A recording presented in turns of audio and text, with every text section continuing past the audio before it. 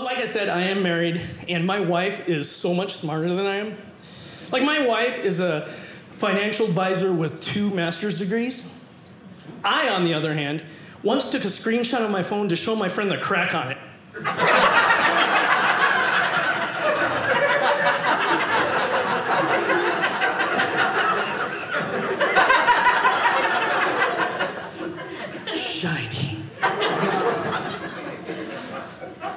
Being married for a while, um, I, I'm still amazed at how husbands and wives can even live together. You know, because men and women are so different, aren't they? Like, one of the ways that men and women are so different is that women always compliment each other.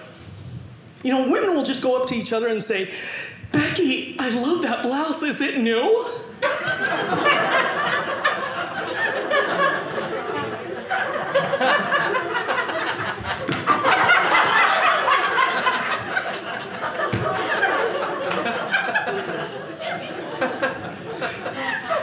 You will never see two men have this conversation. You're not gonna see this. Hey, Bruce. Your hair is absolutely stunning this evening. and those shorts are adorable. you know, the color of that shirt really makes your eyes pop. Now, why don't you tell Mountain Rice Patty where you bought it? You know, you're not gonna see that. Also, men and women have such different perspectives of what romance is. Because, like, I took my wife out for dinner to date night not too long ago, and we sat down, and she looked right at me and she goes, Kyle, you really need to work on your romance. And I'm over there going, like, honey, what are you talking about?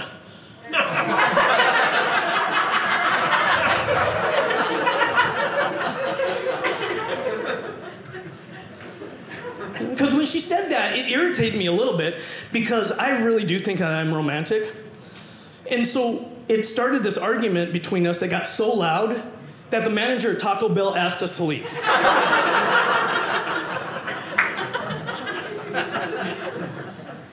and my wife is all into the five love languages. Are you guys familiar with the love, love languages? So she comes up to me and she goes, Well, Kyle, you know, sometimes you could just hold my hand because one of my love languages is physical touch. so I did. I go, okay. So I reach out to grab her hand. She's like, not now.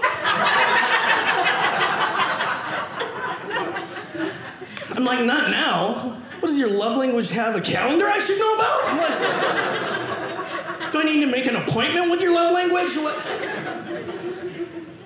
Because she's always reminding me about what her love languages are. You know, she's like, Kyle, now remember, my love languages are physical touch and words of affirmation. So I gave her a high five and told her good game.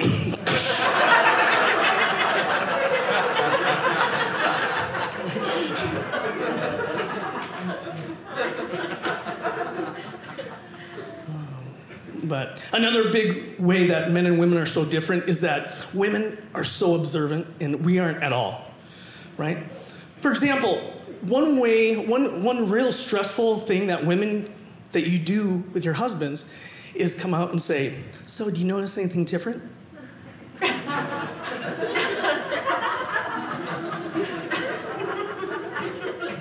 because we don't. We don't. We don't notice anything different. In fact, you could come out wearing nothing but cowboy boots and a stormtrooper helmet, and we'd be just like, So, what's for dinner?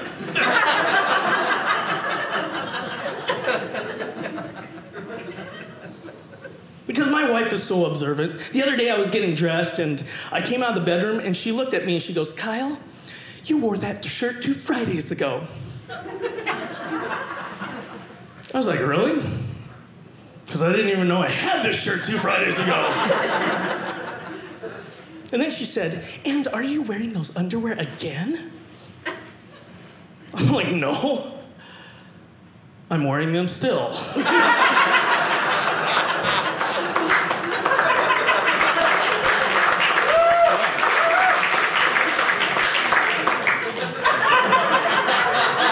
What's the problem? Hey, did you know that Dry Bar Comedy has their own app? Download it right now so you can watch my whole special.